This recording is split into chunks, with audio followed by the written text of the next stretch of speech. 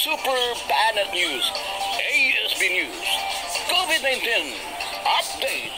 Okay, arita sa COVID-19 update sa Toga Lungsod sa Argao. Uh, niming uh, adlaw nga Martes. Uh, pizza 24 niming nga buwan sa Agosto 2021. Ato ang Argao COVID-19 update uh, base sa post uh, ni uh, ka-SB News uh, Kaurag Channel, uh, Ma'am Sarah Hill Bulingo is feeling sad with Guillermo Caminero and 14 others. Uh, 10 hours ang nakalabay. Uh, Kadiid ag uh, kanhi barangay captain sa Kasay Argao o karong konsyal sa Maoga Barangay. Ang uh, nagkapsan siya nga kinabuhi gumikan sa COVID-19. At basahon ang iyang post uh, recent press sa uh, Tatay Undo.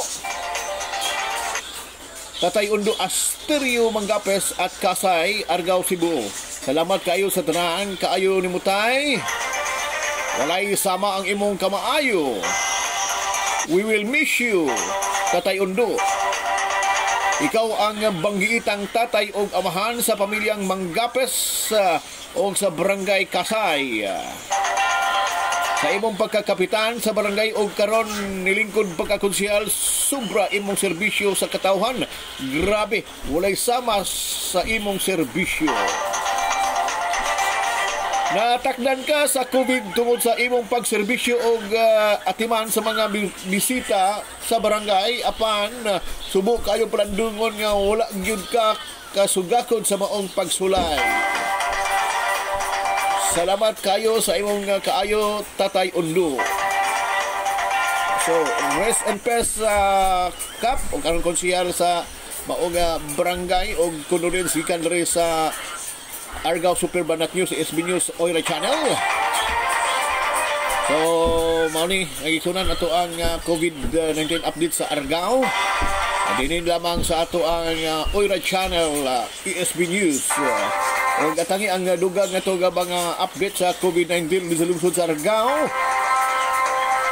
Kaya natay gi-follow up sa nagisunan nga fatality ni ining maong uh, COVID uh, 19 o nagpaabot tag uh, dugang bitali ni ini.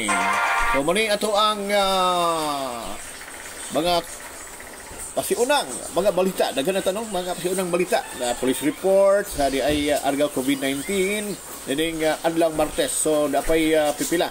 Kawa na to mabalita atangi ang uh, ubang uh, mga balita. Ako magaingon na magamputa magampil sa kanunay. Bye bye I love you all.